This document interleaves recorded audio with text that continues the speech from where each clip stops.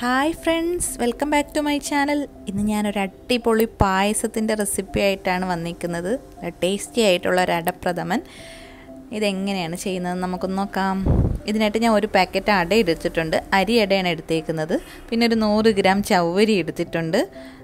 നമ്മുടെ ഈ പായസത്തിന്റെ ആവശ്യത്തിന് നമ്മൾ ശർക്കര എടുക്കുക.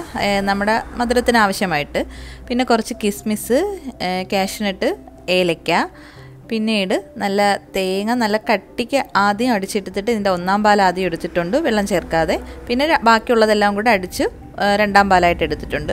ഇനി നമുക്ക് ഈ അടയൊന്ന് കഴുകിയിട്ട് ഇതൊന്ന് വേവിച്ചെടുക്കാം. കുറച്ച് വെള്ളം ഒഴിച്ചിട്ട് നമുക്കിതൊന്ന് തിളപ്പിച്ച് വേവിച്ചെടുക്കണം. അങ്ങനെ ചെയ്യുമ്പോഴത്തേക്ക് ഈ അട നല്ല സോഫ്റ്റായിട്ട് കിട്ടും. അങ്ങനെ ചെയ്യുന്നതാണ് പായസത്തിന് നല്ലത്. അതുപോലെ തന്നെ ഈ ചൗവരി ഞാനിവിടെ കഴുകി എടുത്തിട്ട് ഇതും കൂടെ ഒന്ന് വേവിച്ച് ചേർക്കുന്നുണ്ട്. അങ്ങനെ ചെയ്യുമ്പോഴത്തേക്ക് ചൗവരിയും നമുക്ക് പായസത്തിൽ ചേർക്കുമ്പോൾ പെട്ടെന്ന് വെന്ത് കിട്ടും. അതിന് വേണ്ടിയിട്ടാണ് ചവ്വരിയും കൂടെ ഞാനിവിടെ വേവിച്ച് ചേർക്കുന്നത്. അട ഇപ്പോൾ ഏകദേശം നന്നായിട്ട് തിളച്ചത് നന്നായി വെന്തിട്ടുണ്ട്. ഇനി നമുക്കിതൊന്ന് ഒരു സ്റ്റെയിനറിലേക്ക് മാറ്റാം.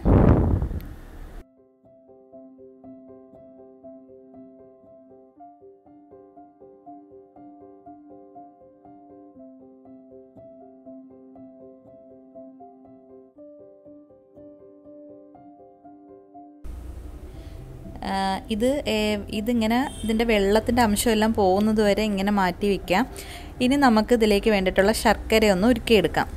ഒരു പാത്രത്തിലേക്ക് ശർക്കര എല്ലാം ഇട്ട് കൊടുത്തിട്ട് നമുക്കിതൊന്ന് കുറച്ച് വെള്ളം ഒഴിച്ച് ഒരുപാട് വെള്ളം ഒഴിക്കേണ്ട കേട്ടോ. ശർക്കര അലിയുമ്പോഴത്തേക്ക് അതിന്റെ ഇത് കിട്ടും. അതുകൊണ്ട് കുറച്ച് വെള്ളം ഒഴിച്ചിട്ട് നമുക്ക് ഈ ശർക്കരയൊന്ന് ഉരുക്കിയെടുക്കാം.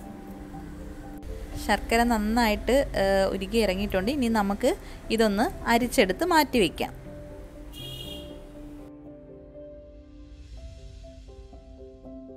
ഇങ്ങനെ നമ്മുടെ ശർക്കരയും റെഡിയായി. ഇനി നമുക്ക് പായസം ഉണ്ടാക്കാൻ തുടങ്ങാം. അപ്പോൾ നമുക്ക് പായസം റെഡിയാക്കാം. അതിനായിട്ട് ഞാൻ ഇതുപോലൊരു പാത്രം അടുപ്പത്ത് വെച്ചിട്ടുണ്ട്. ഇനി ഇതിലേക്ക് ഒരു മൂന്ന് ടീസ്പൂൺ നെയ്യ് ഒഴിച്ച് കൊടുക്കാം. നെയ്യ് ഒന്ന് ചൂടായി വരുമ്പോഴത്തേക്ക് നമുക്ക് ഇതിലേക്ക് നമ്മൾ ആദ്യം തന്നെ വേവിച്ച് മാറ്റി വെച്ചിരിക്കുന്ന അടയുണ്ടല്ലോ. അതിൽ വെള്ളമെല്ലാം പോയതിന് ശേഷം ആ അട നമുക്ക് ഇതിലോട്ടിടാം ഞാൻ ഇങ്ങനെ ഒന്ന് ഈ ഈ വേവിച്ച് വെച്ചിരിക്കുന്ന അട ഈ നെയ്യിലിട്ടൊന്ന് ചെറുതായിട്ടൊന്ന് റോസ്റ്റ് ചെയ്യാം. ഒരു ചെറിയ ഒരു കളർ ചേഞ്ച് വരുന്നത് വരെ അങ്ങനെ ചെയ്യുമ്പം കുറച്ചും കൂടെ പായസത്തിന് നല്ല ടേസ്റ്റിയാണ് ഈ അടയൊന്നും എല്ലാം ഇങ്ങനെ ഒട്ടിപ്പിടിച്ചിരിക്കത്തില്ല. എല്ലാം സെപ്പറേറ്റ് ആയി കിടക്കും. നല്ലൊരു ടേസ്റ്റും കിട്ടും. അതിന് വേണ്ടിയിട്ടാണ് ഞാൻ ഇങ്ങനെ ചെയ്യുന്നത്. അട ഏകദേശം റോസ്റ്റായി വന്നിട്ടുണ്ട്. നല്ലൊരു മണമൊക്കെ വരുന്നുണ്ട്. ഈ സമയം തേങ്ങയുടെ രണ്ടാം പാൽ ചേർത്ത് കൊടുക്കാം. അതോടൊപ്പം തന്നെ ആദ്യം വേവിച്ച് വെച്ചിരുന്ന ചൗവരിയും കൂടെ ചേർത്തിട്ട് നല്ല രീതിയിൽ ഇതൊന്ന് യോജിപ്പിച്ച് കൊടുക്കാം. തീ കുറച്ചിട്ട് ചെയ്യുക ഇതുപോലുള്ള ഈ പാത്രങ്ങളിലൊക്കെ തീ കൂട്ടിയിട്ട് വെച്ചാൽ പെട്ടെന്ന് അടി പിടിക്കാൻ ചാൻസ് ഉണ്ട്. അതുകൊണ്ട് ഇതുപോലെ ഇടയ്ക്കിടയ്ക്ക് ഒന്ന് ഇളക്കി യോജിപ്പിച്ച് കൊടുക്കുക ഇത് നമ്മൾ ആദ്യം വേവിച്ചെടുത്ത അടയായതുകൊണ്ട് കുറച്ച് ടൈമും കൂടെ ഒന്ന് ഇളക്കി കൊടുക്കാം. വെന്തതിന് ശേഷം നമുക്ക് ഇതിലേക്ക് ശർക്കര ഒഴിക്കാം.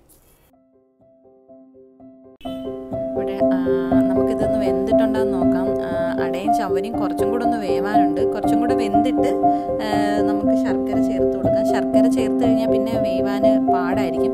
ഇത് പകുതി വേവിച്ച അടയായതുകൊണ്ട് ഏകദേശം ഒന്ന് വെന്തിട്ടുണ്ട്. ഇപ്പം നല്ല രീതിയിൽ തിളച്ചിട്ടുണ്ട്. നല്ല രീതിയിൽ ഇതൊന്ന് വെന്ത് കിട്ടിയിട്ടുണ്ട്. ഈ സമയത്ത് നമുക്ക് നേരത്തെ ഒരുക്കി വെച്ചിരിക്കുന്ന ശർക്കരയും കൂടെ ചേർത്ത് കൊടുക്കാം.